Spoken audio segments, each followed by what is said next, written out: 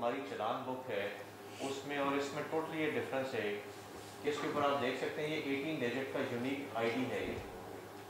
तो ये receive type है, ये ईयर आ गया 2020 चल रहा है, ये लाहौर का हमारा ये कोड है, क्योंकि बाकी इस्लाम में भी अगर आएगा तो 36 हमारा लाहौर का है कोड उसके बाद हमारे अभी मौजूदा 34 सेक्टर्स हैं ट्रैफ़िक के, जैसे कि आपको इल्म है, और ये हमारे पास प्रोविज़न है कि हम इसको बढ़ाकर 99 तक भी लेके जा सकते हैं।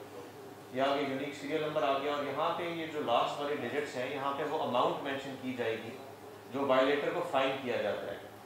तो अगली स्लाइड में आपको दिखाता हूँ कि नीचे जिस तरह सी साहब ने बताया कि ये ओवर दी काउंटर भी आप कर सकते हैं ऑनलाइन बैंकिंग के थ्रू और ए के थ्रू भी पे कर सकते हैं। ये बेसिकली हमने रीडिज़ाइन की है जो टिकट है हमारी। लोगों की सहूलत के लिए ये आपने देखा कि ये यूनिक आईडी ये आ गया। लास्ट फोर डिजिट जैसे पाँच सौ रुपये का फ़ाइन है तो ज़ीरो फाइव हंड्रेड लिखा गया। ये टोटल उसको भरना होगा। ये फ़ील्ड जो ऑलरेडी मौजूदा टिकट के अंदर है, जो चलान बुक है हमारी, उसके मुताबिक ये पुरानी वही फ़ील्ड है। और नीचे जो है, ये तमाम चैनल्स हैं जिसके ऊपर जाके हमारा जो वायलेटर है वो पे कर सकेगा। नेक्स्ट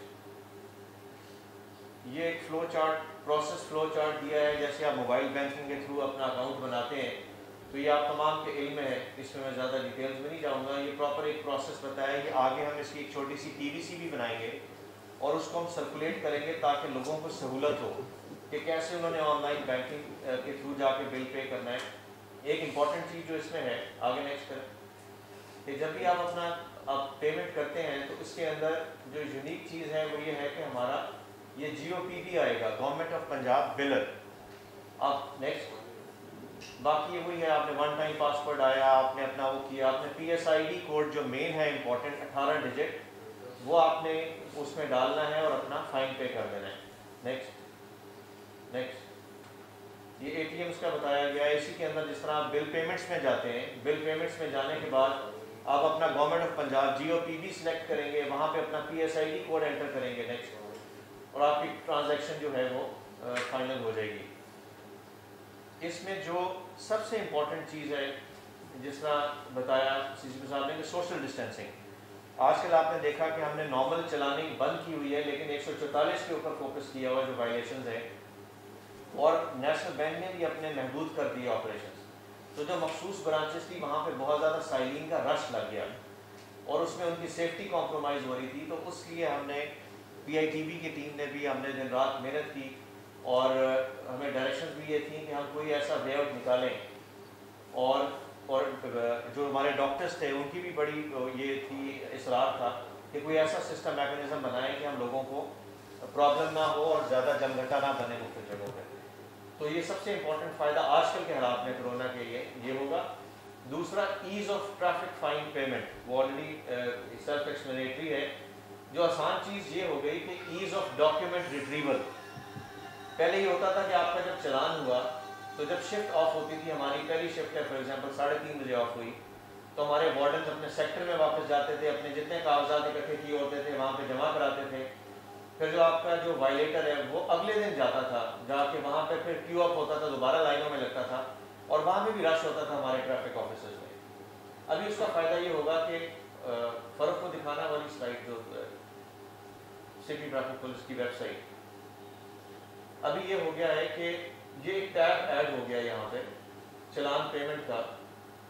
हमारी सिटी ट्रैफ़िक पुलिस की वेबसाइट पे। अगर कोई वायलेटर है, वहाँ पे किसी का चलान हुआ है, जो भी उसको ब्रांच मिल जाए एमसीबी मिल जाए या लाइट बैंक मिल जाए या जो लिंक के साथ कनेक्टेड है, अपना फाइन पे करें या ऑनलाइन अपने मोबाइल से पे कर दें, या उस टाइम पे उसके पास पैसे नहीं है, या वो नहीं जा सकता, किसी दोस्त को कॉल कर दे कि ये मेरा P S I D code है, आप मेरा बिल पे कर देंगे फाइन पे कर दें। वो फाइन पे जैसे ही होगा राइट आफ्टर दैट वो अगर हमारे ट्रैफ़िक वार्डन के पास आ जाता है तो वो अपने मोबाइल के ऊपर ही वेबसाइट पे जाके यहाँ पे P S I D code enter करेगा और सर्च करेगा तो हमें उसका स्टेटस पता लग जाएगा कि वो पेड है या अनपेड है।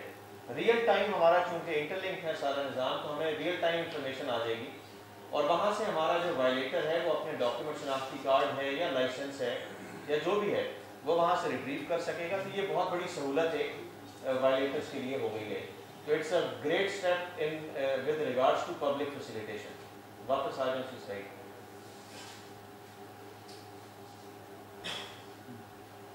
दूसरा इसमें एक जो एम्बेडेड एक फ़ंक्शन ये इन्होंने कर दिया है कि आप देख सकते हैं इंटीग्रेशन विद कोर्ट्स आपके इल्म है कि अगर 10 दिन अगर एक कोई भी चलान नहीं पे होता तो हम डॉक्यूमेंट्स को अदालतों में ट्रैफ़िक मजिस्ट्रेट के पास भेज देते हैं, चलान क्लर्क्स के पास।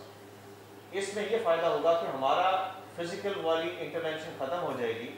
हमारे दस दिन अगर एक वायलेटर ने पे नहीं किया हमारे सिस्टम में भी नहीं आ रहे हैं उसमें भी देख सकते हैं सिस्टम के अंदर। तो हम ऑटोमेटिकली विद अ क्लिक ये अदालतों को वहाँ पे भी जो हमारे ट्रैफ़िक मजिस्ट्रेट्स हैं उनके पास भी ये वाला सिस्टम है। ये सारा सारा डेटा वहाँ पे उनको ट्रांसफ़र हो जाएगा। तो एक हमारा रिकॉर्ड मेंटेन हो, होना शुरू हो जाएगा। जो कि आपको पता है कि वहाँ पे बहुत सारी कबातें हैं बहुत ज़्यादा पेंडेंसी है।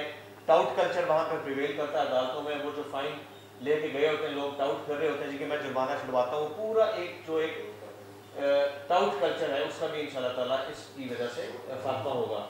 डेटा कलेक्शन एनालिसिस आसान हो जाएगी, हमारे पास एक डेटा मेंटेन होना शुरू हो गया है। उसको किसी भी स्टेज पे आगे जो हमने आगे पॉइंट सिस्टम इंट्रोड्यूस करना है, अपने driving licence management information system के साथ सिंक कर सकते हैं उसको। एक्साइज एंड टैक्सेशन के साथ लिंक हो सकता है।